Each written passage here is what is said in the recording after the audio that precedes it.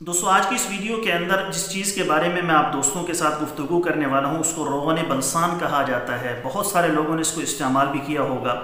बलसान एक दरख्त का नाम है, जिससे रोगन निकलता है, जिसको रोगन बलसान कहा जाता है। जोड़ों का दर्द हो, जिस्मानी कमज़ोरी हो, मर्दाना कमज़ोरी हो, नफ्स की कमज़ोरी का मसला हो फालिज लकवा और शुगर का मसला हो तो इन तमाम के तमाम अमराज के लिए एक तरतीब के साथ इसको इस्तेमाल करवाया जाता है। अब बलसान का इस्तेमाल किस बंदे को करना चाहिए, किसको नहीं करना चाहिए, या किन किन अमराज के लिए इसका इस्तेमाल हो सकता है, और कौन कौन से इसके अंदर परहेज़ होगा, आज की इस वीडियो के अंदर मैं आपको मुकम्मल तफसील के साथ बताने वाला हूँ।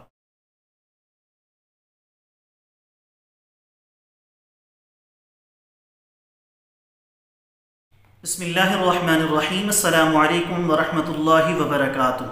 दोस्तों, उम्मीद करता हूँ आप सारे खैरियत से होंगे। मैं मोहम्मद इसमाइल आपको अपने चैनल के अंदर खुश आमदीद कहता हूँ। सबसे पहले मेरी अल्लाह रबुल्ज़त की दाद से दुआ है कि पूरी दुनिया के अंदर जितने बसने वाले इंसान हैं, अगर कोई परेशान है तो अल्लाह ताला उनकी परेशानी को दूर फरमाए, बीमारों को कामिल और मुकम्मल सेहत अता फरमाए, और जो आपके हक़ के अंदर बेहतर हो, खुदा ताला सबको अता फरमाए। दोस्तों, आज की इस वीडियो के अंदर मैं आपको रोगन बलसान के फ़वाद के बारे में और उसके इस्तेमाल करने का तरीका और रोगन बलसान को इस्तेमाल करते हुए किन किन चीज़ों से आपने परहेज़ करना है गज़ाई एतबार से भी और दीगर कुछ मसाइल के बारे में मैं इन ताला आज की इस वीडियो के अंदर मुकम्मल तफसील के साथ आप दोस्तों को बताने वाला हूँ। रोगन बलसान आपने नाम सुना हुआ होगा, बहुत सारे लोगों ने इसको इस्तेमाल भी किया होगा और इससे फ़ायदा भी उठाया होगा। कुदरती चीज़ है मकाम बदर के अंदर पाया जाता है वहाँ से हासिल करके पूरी दुनिया के अंदर इसको भेजा जाता है और लोग इसको इस्तेमाल करके इससे फ़ायदा उठा रहे हैं। जिसमानी कमज़ोरी का मसला हो मर्दाना कमज़ोरी के मस, मसाइल हों बे औलादी का मसला हो या दीगर कई मसाइल हैं शुगर हो जोड़ों का दर्द हो दीगर मसाइल हो तो इन तमाम के तमाम मसाइल के लिए रोगन बलसान का इस्तेमाल करके इससे फ़ायदा उठाया जाता है। अब बहुत सारे लोग ऐसे हैं जो रोगन बलसान का काम कर रहे हैं। उनके पास रोगन बलसान दस्तियाब होता है, मक्का के अंदर भी हैं, मदीना के अंदर भी हैं, दीगर कई जगहों पर भी हैं। हम भी बरह रास्त मकाम बदर से लाते हैं। लेकिन चूँकि रोगन बलसान का ताल्लुक इंसानी सेहत के साथ बरह रास्त है, क्योंकि खुदा न खास्ता अगर रोगन बलसान दो नंबर हो या मिलावट वाला हो तो इससे गुर्दे फेल हो जाते हैं। इससे बीपी के हाई होने का मसला हो जाता है, मैदा बहुत ज़्यादा डिस्टर्ब हो जाता है और दीगर कई मसाइल इससे पेश आ सकते हैं अगर रोगन बलसान खालिश ना हो। तो उसको ख़रीदते हुए इस चीज़ की एहतियात करें कि रोगन बलसान सौ फ़ीसद प्योर और ख़ालिश हो। एक चीज़ तो ये होगी दूसरी चीज़ ये कि जिससे भी ख़रीदें, अपना मिजाज उसको बता दें। अगर आपको पता है, आपने अपनी तशखीस करवाई है, किसी नबज शनास से के पास जाकर अपनी तशखीस करवा ली है कि मेरा ये मिजाज बनता है। या अगर आपको मिजाज का पता है तो जिससे भी रोगन बलसान ख़रीदें, उनसे कहे, मेरा ये मिजाज है, मेरे मिजाज के अंदर गर्मी का गलबा है, खुश्की का गलबा है, सर्दी का गलबा है, तरी का गलबा है। अब इस एतबार से तुमने मुझे सजेस्ट करना है, मुझे बताना है कि मैं रोगन बलसान का इस्तेमाल कैसे करूँ। हर बंदे की तबीयत और मिजाज मुख्तलिफ़ होता है। उस एतबार से रोगन बलसान अगर उसको मिजाज और कैफियत के अतबार से इस्तेमाल करवाया जाएगा तो इन ताला उसको खातिर खा फ़ायदा होगा। ऐसे ही वो तमाम के तमाम लोग जिनको मर्दाना कमज़ोरी का मसला है, शादियाँ हो चुकी हैं, लेकिन औलाद नहीं हो रही। अब बाज़ दफ़ा उनके स्पर्म्स का मसला होता है। अब स्पर्म के अंदर भी बाज़ दफ़ा टोटल काउंट का मसला होता है, बाज़ दफ़ा एक्टिव का मसला होता है, बाज़ दफ़ा पसल का इशू ज़्यादा होता है।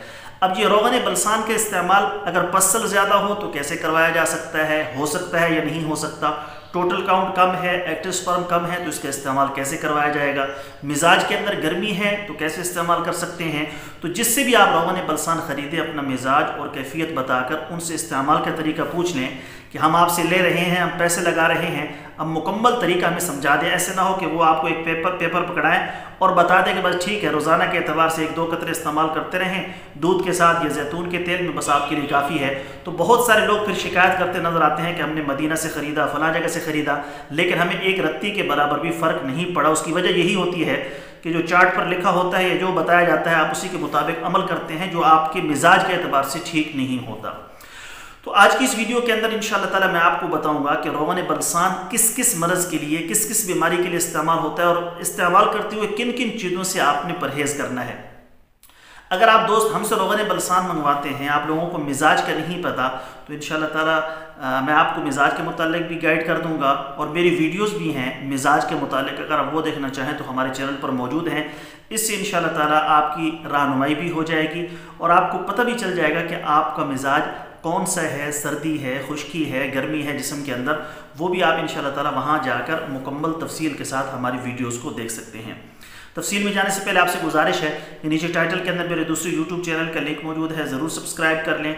अगर कोई दोस्त खालिश रोगन बलसान, जंगली शहद, ज़ाफ़रान सलाजिद असमत सुरमा या किसी भी किस्म की दीगर अद्वियात मंगवाना चाहें, ऊपर मेरे व्हाट्सअप पर रबा करें। मुझे जैसे ही वक्त मिलेगा, मैं इन ताला जल्द अज जल्द आपको रिप्लाई करने की कोशिश करूँगा। क्या क्या फ़वाद है रोगन बलसान के? कैसे उसको इस्तेमाल करना है? तफसील के साथ सुन लेते हैं। जी तो दोस्तों, ये रोगन बलसान के इस्तेमाल में क्या क्या परहेज़ करना है और कुछ ज़रूरी हिदायत? ये मैंने आप दोस्तों के लिए लिख कर रखी हैं। उम्मीद है इन ताला इससे आपको फ़ायदा होगा। नंबर एक, सबसे पहली चीज़ तो ये कि शिफा खाले के कायनात के हाथ में है, इसलिए यकीन सबसे पहले अल्लाह की ज़ात पर हो और फिर भरोसे और यकीन के साथ दवा यानी रोगन बलसान का इस्तेमाल करें, अल्लाह पाक ज़रूर शिफा देंगे। शिफा अल्लाह पाक के हाथ में है, इस बात को जहन के अंदर रखना है, रोगन बलसान पर अतमाद नहीं करना, अल्लाह की ज़ात पर अतमाद करते हुए बतौर दवा के रोगन बलसान का इस्तेमाल करना है। नंबर दो मैदा ठीक होना चाहिए। अगर जानना चाहते हैं कि मैदा ठीक है या ख़राब है तो हमारी यूट्यूब पर बहुत सारी वीडियोज़ इस मौजू पर मौजूद हैं कि आया आपका मैदा ठीक है या नहीं है। बाद लोग पूछते हैं कि आप मुख्तसरा बता दें तो उसमें ये बात मैं अर्ज़ करना चाहूँगा, अगर आपको कब्ज़ का मसला नहीं है, खाना ठीक तरीके से हज़म होता है, भूख वगैरह ठीक लगती है, तेज़ाबियत का मसला नहीं है तो इसका मतलब ये है कि आपका मैदा ठीक है, आप रोगन बलसान को अपने जिस भी मरज़ के लिए इस्तेमाल करना चाहें कर सकते हैं। नंबर तीन, शुरू के दस दिन सिर्फ़ एक कतरा इस्तेमाल करना है, उसके बाद मशवरा करके मकदार बढ़ा सकते हैं। शुरू के दस दिन आपने एक कतरा इस्तेमाल करना है, ये रोगन बलसान आधे तोले की शीशी मेरे हाथ के अंदर है, इस्तेमाल करने से पहले अच्छे तरीके से इसको मिक्स कर लेंगे, हिला लेंगे। या बीच में ज़र्रात देख रहे हैं, जब रोगन बलसान दरख्तों से निकाला जाता है तो कुछ ज़र्रात इसके अंदर रह जाते हैं।